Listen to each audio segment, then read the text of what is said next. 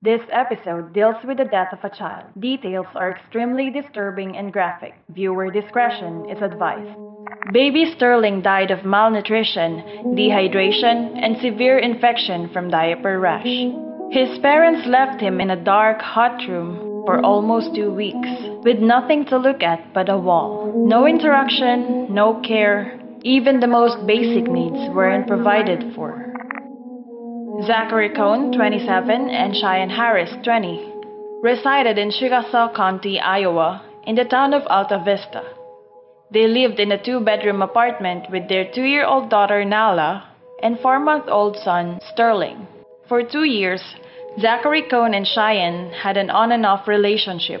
They would meet up for sex and would take meth together, get clean, and then start the cycle all over again. It was during one of the cycles that baby Sterling was conceived.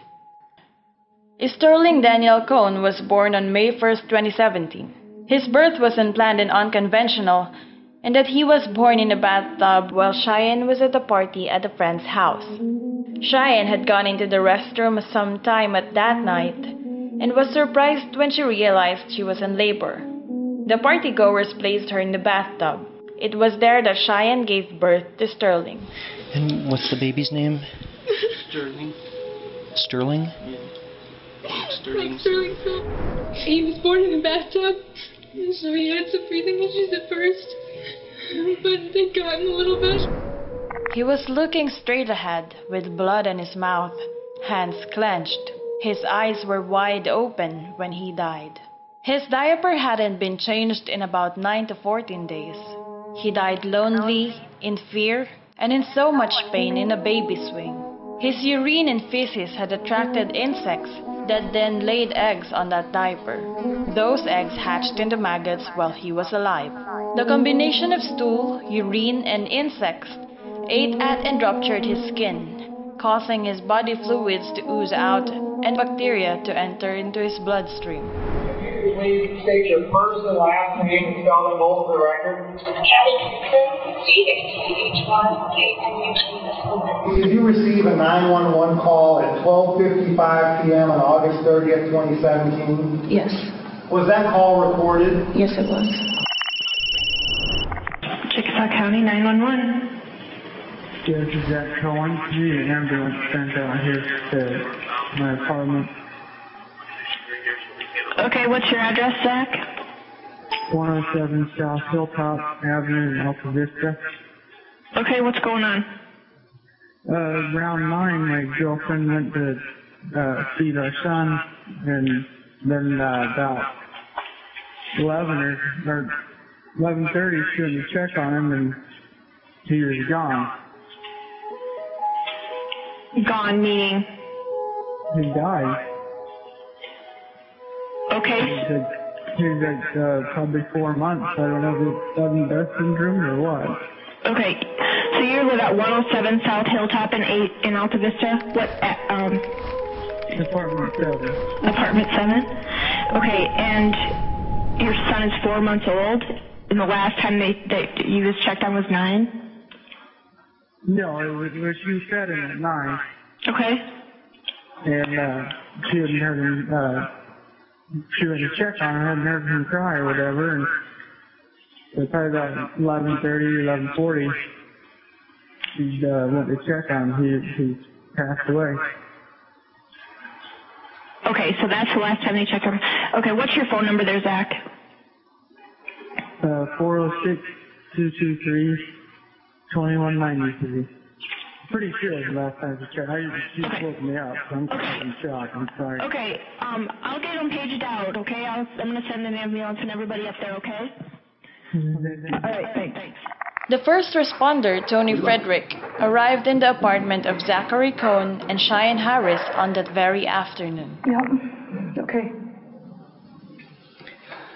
Okay. Can you tell us your name? Toni Freidrich. You received a call and it was about an infant, correct? Yes. How close were you to where you were supposed to go? Two miles. When you received the call, what did you do? I got in my car and went there. When you pulled up to the apartment complex, are we talking about three, four-story high apartments? What are we looking at? You're looking at a brick one-story building that's kind of like in a U shape with apartments on this side and they were straightforward. I saw, I saw, um, a man and a woman and a child and, uh, got out of my car and went running towards them and said, where's the baby? They didn't show any emotion or expression. Um, and then the man said, inside. And I said, show me. He took me inside and we walked through the living room. And then we, uh, he took me to a back bedroom. And it was dark and hot. It was stuffy. Um, and I was looking for a crib and I couldn't see anything. And I said, We've got to get some lights on in here because you couldn't see anything because it was dark. All right, so walking into the apartment, is this a big apartment?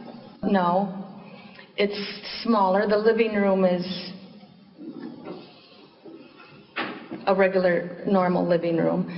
The bedroom that I walked into was small. From where I was standing, you still really couldn't see the baby because the, the swing was in the corner of the room facing the outside wall. And so I went over to the baby because you had to get over in front of it in order to see him. And he was staring. He had a, his eyes were open and he was a blank stare. His pupils were fixed and dilated. That means he was just staring. And the pupils, there was like no reaction in them. He was just staring. Sorry, I don't mean to. His eyes were fixed and dilated, and pupils should kind of sometimes move, and his didn't. And he never blinked. He wasn't breathing, checked his brachial pulse. His arm was cold and stiff, and he had what appeared to be blood around the side of his mouth. I, t- I touched his chest. His, his uh, clothes are kind of crusty. And then I, he, he had a blanket that was draped over him. And when I, when I touched that, there was like bugs that came up from that. Little natties, gnats that flew from that.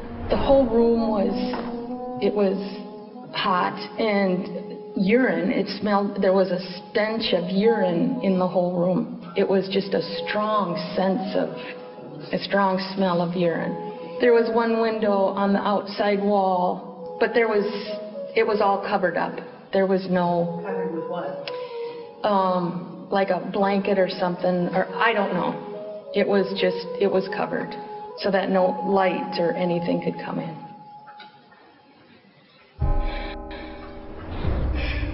And so when I went to check the brachial pulse on him to pull his little arm down, I couldn't move it. It was rigid.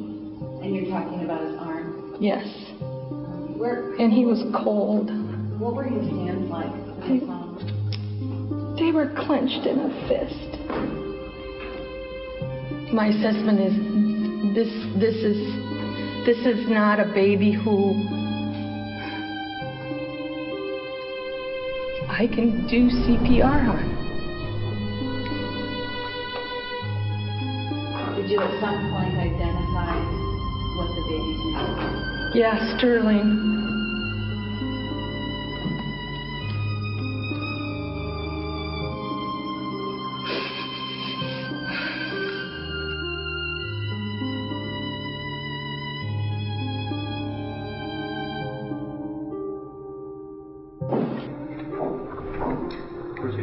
Ma'am, if you could please uh, state your first and last name and please spell them for the record.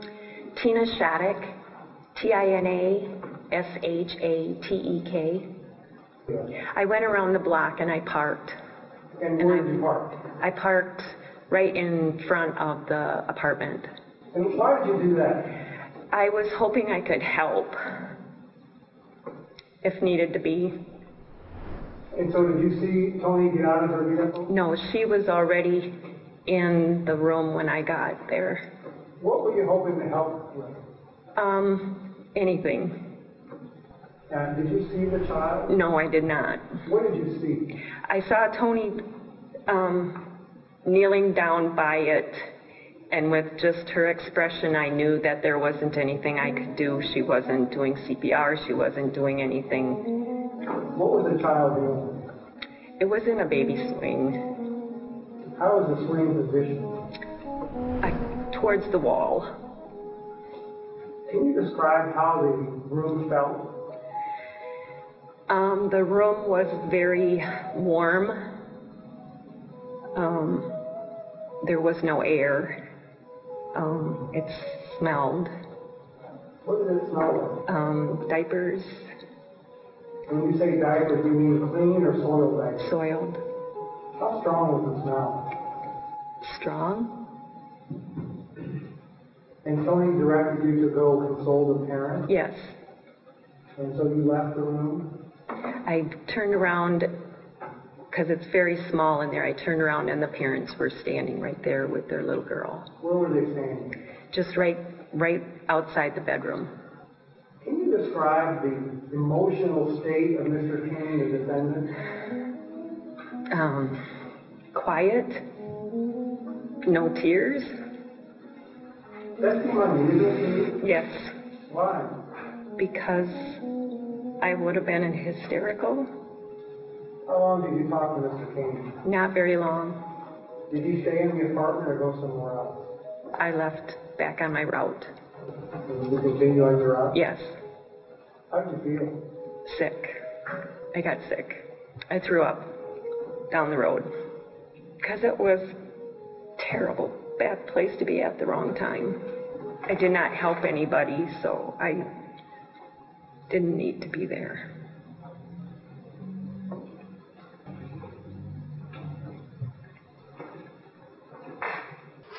Would you please introduce yourself to the jury?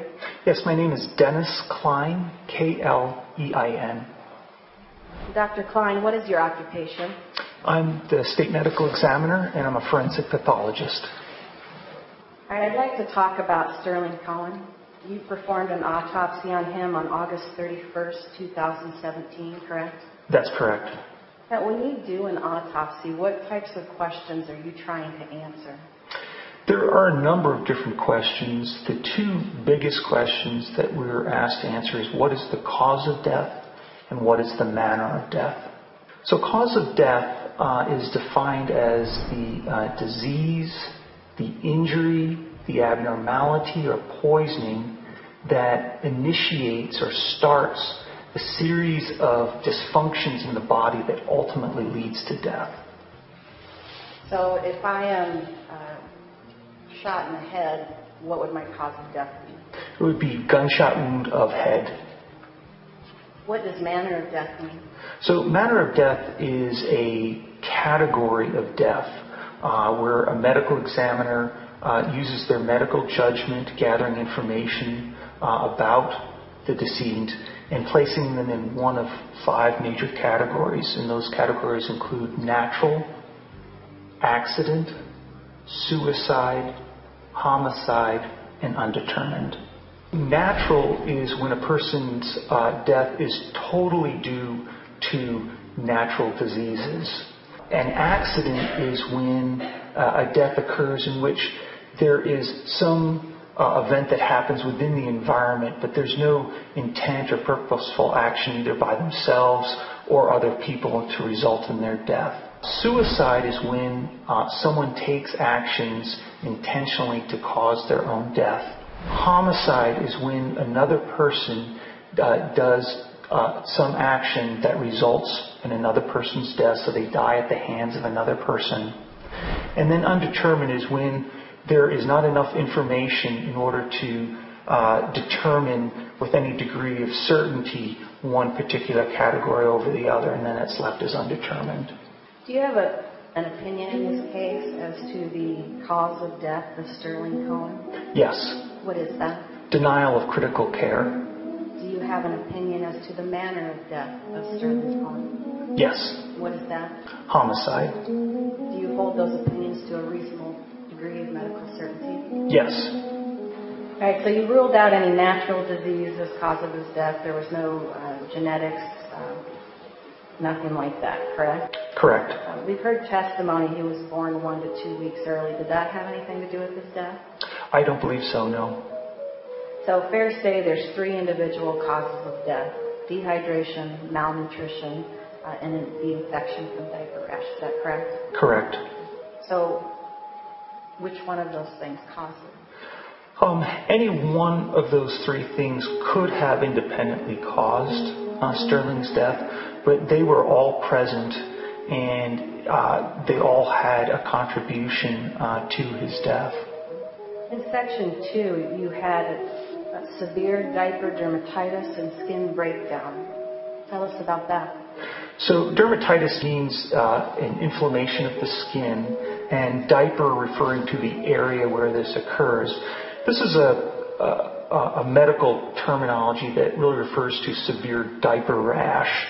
And so, what we were actually able to see is that the skin integrity was breaking down uh, to the point that some of that skin was starting to slough off. There was some dead skin, um, and we could also see that it was very red, and that that was an area that uh, bacteria would be able to enter into the body.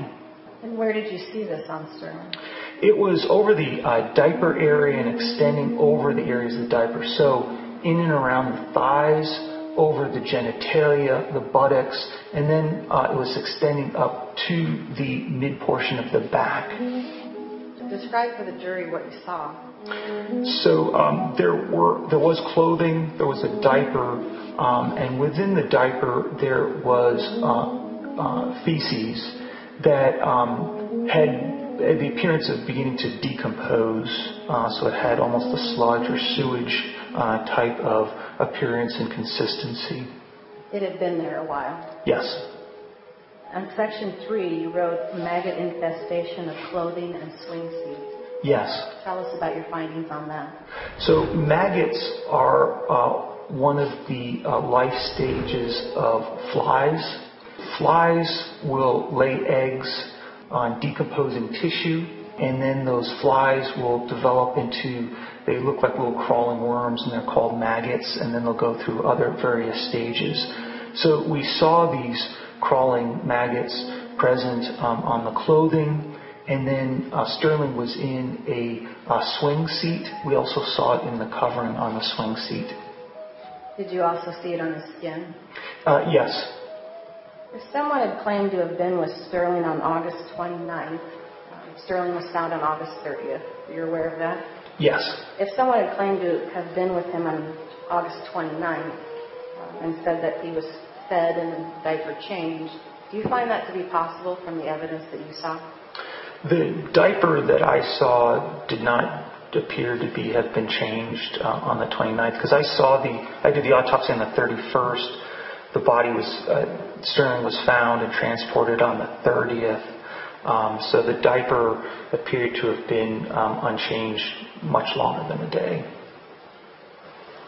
In your opinion, the condition that Sterling was in, um, could he even have taken a bottle on the 29th? The condition that I saw Sterling at the time of autopsy, he uh, looked severely emaciated. Uh, he was severely de- dehydrated. Um, he was severely underweight. You know, it's, it's, hard to judge exactly what his movement capabilities were, um, but I suspect that if he were alive at that time, in order to revive him at that point, he would have needed uh, intravenous fluids and probably tube feedings in a hospital.